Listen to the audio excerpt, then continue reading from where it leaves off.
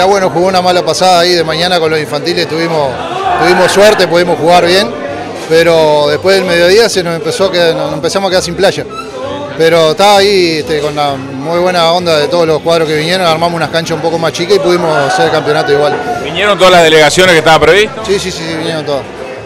Este, es el principio de temporada, hay algunos que no están jugando, otros que no están entrenando, pero está, se armó un campeonato lindo igual.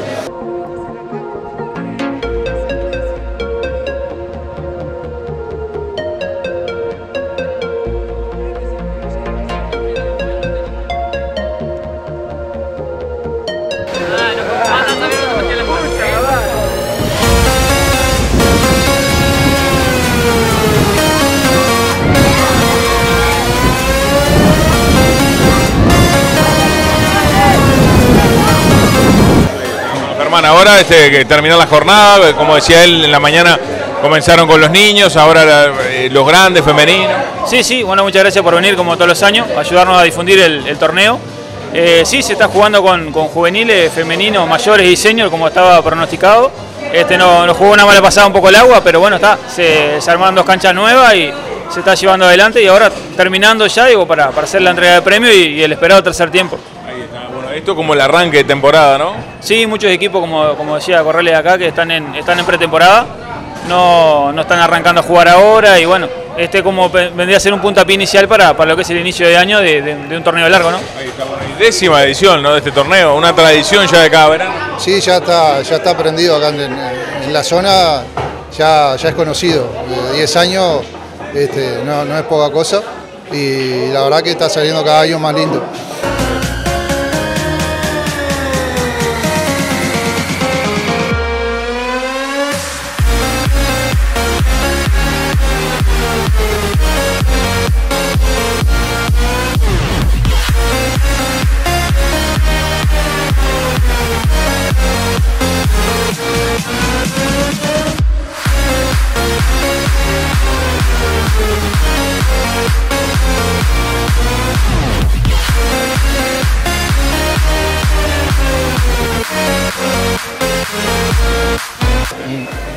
Sigue agrandándose Cimarrones ¿no? con todas las actividades. Este año un destaque especial en, en el vóley también más allá de lo, de lo que es el rugby. ¿no? Sí, sí, sí, en, la- en las demás categorías está, se, está andando muy bien, el voleibol anduvo muy bien el año pasado este, y la verdad que nos, han dado una alegría linda.